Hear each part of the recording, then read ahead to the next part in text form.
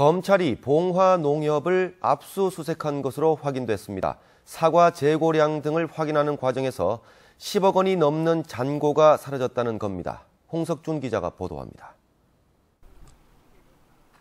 대구지검 안동지청이 지난주 목요일 봉화농협을 전격 압수수색했습니다.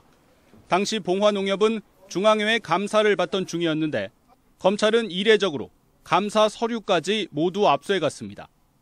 최근 봉화군 농민회는 합병 이후 진행된 봉화농협의 재고조사 과정에서 수억 원대의 잔고 손실을 제보받았다며 진상규명을 요구해왔습니다.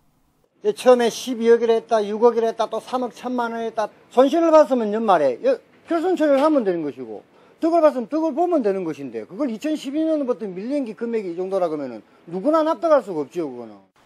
봉화농협은 지난 2년간 60억 원 규모의 사과를 수도권 대형 유통업체에 납품해 왔습니다. 이 과정에서 원물 매입 비용을 과소 계상하는 등 업무 미숙으로 7억 원의 손실이 확인돼 담당 상무 등 5명을 직위 해제했다고 밝혔습니다. 재고 부족한 원인이 아, 뭐 어떤 식으로 해서 이게 부족하게 됐는지까지는 아, 검사 결과를 좀 지켜봐야 뭐 예, 되겠습니다.